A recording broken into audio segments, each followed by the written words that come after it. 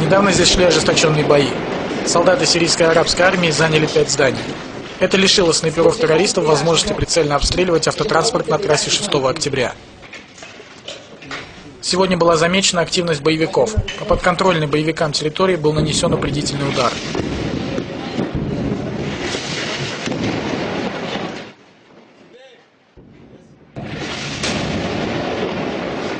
Ходе тех боев был сожжен один танк сирийской арабской армии. Погиб механик-водитель.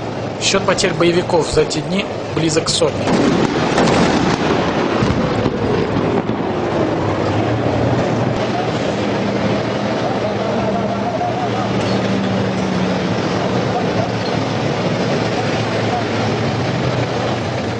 Вслед за артиллерийским ударом следуют танки.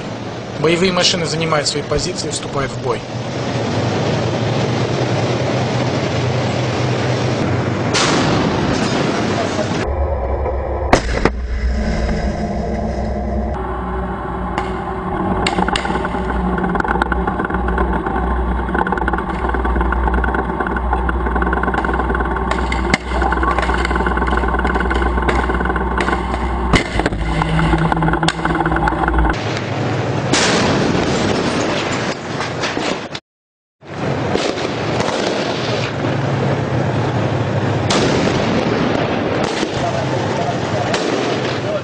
В здании справа боевики проникают через сеть тоннелей. В единую сеть связаны постройки, находящиеся справа, и часть зданий слева.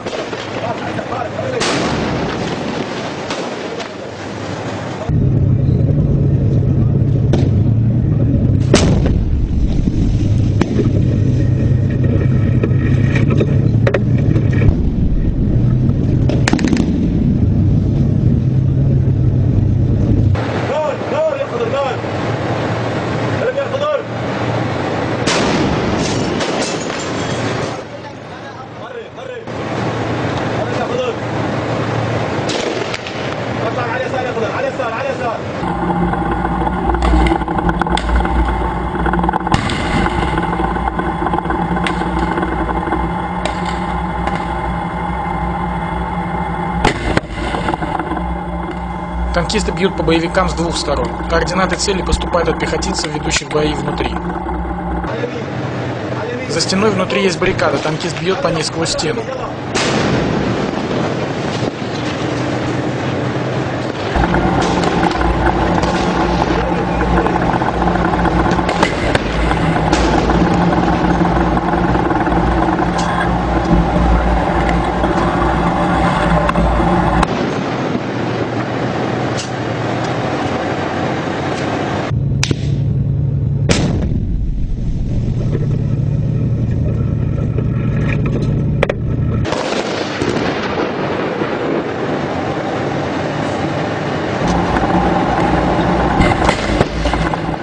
Автобусы, стоящие у дороги, служат хорошими подручными противокумулятивными экранами.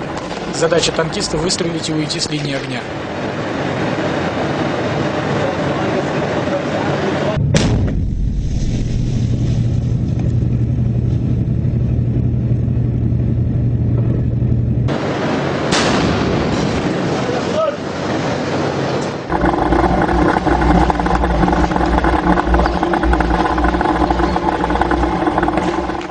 Несмотря на большие потери, которые несут боевики в живой силе, сопротивление террористов усиливается. На место выбиваемым приходят новые и новые бандиты со стороны Замальги. Оттуда же поступают боеприпасы.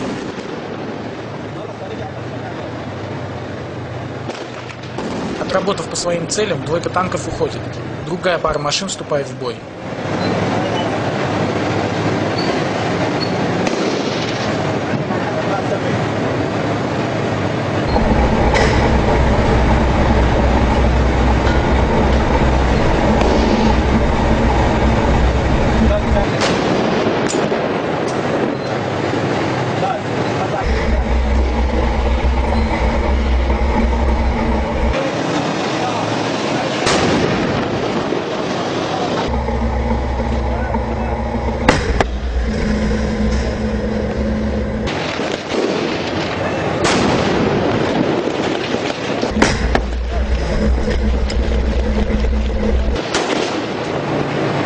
Огня танкистов с хорошей реакцией, и боевики не могут выстрелить по танку. Гранатометчики либо боятся высунуться, либо их успевают убрать на подходе.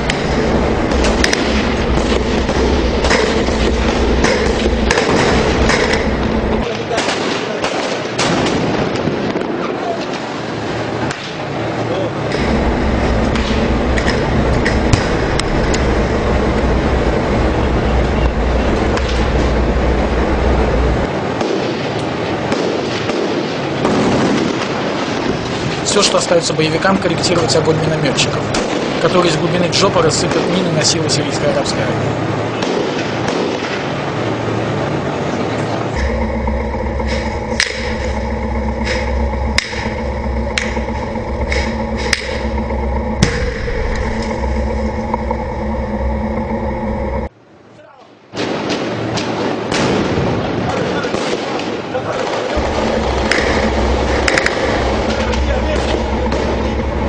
В этих клубах дыма важно не пропустить гранатометчика террористов, поэтому очень важно хорошее взаимодействие подразделений.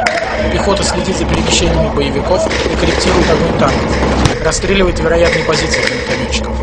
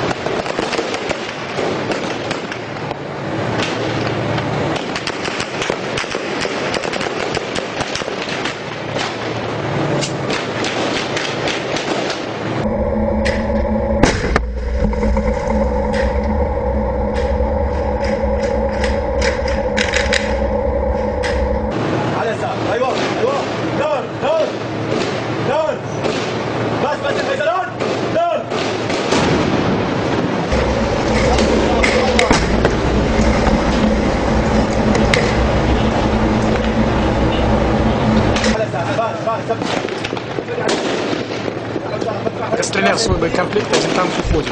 Его место занимает следующий.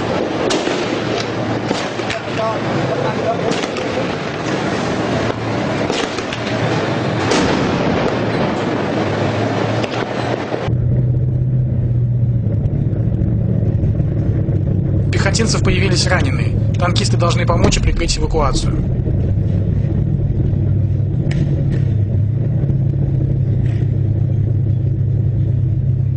Мусин, Василий Павлов, Игорь Надыршин, Виктор Кузнецов, Андрей Филатов, ANNA News, Дамаск.